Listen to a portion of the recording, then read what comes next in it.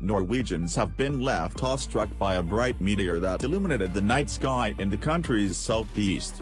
Footage shows powerful flashes of light over Norway, followed by what witnesses described as loud bangs on Sunday.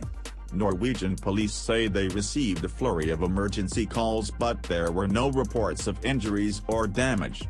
A team of experts are hunting for the meteorite, which they believe landed in a forest near the capital, Oslo. A meteor is a space rock that burns brightly after entering Earth's atmosphere at high speed. It becomes known as a meteorite if it survives its passage to the ground.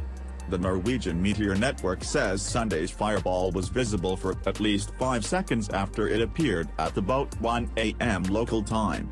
Traveling at about nearly 36,500 miles per hour, the meteor could be seen over large parts of southern Scandinavia, the network says.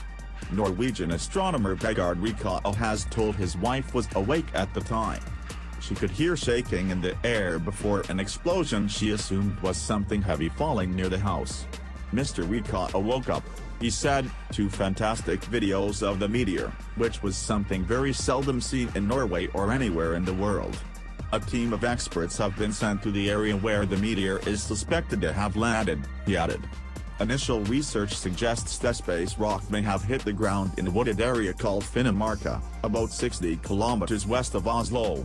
One group of campers reported a large explosion just above their heads, Mr. Rikata said. A female camper told him of seeing the fireball from a short distance but thinking it was her friends playing a trick on her.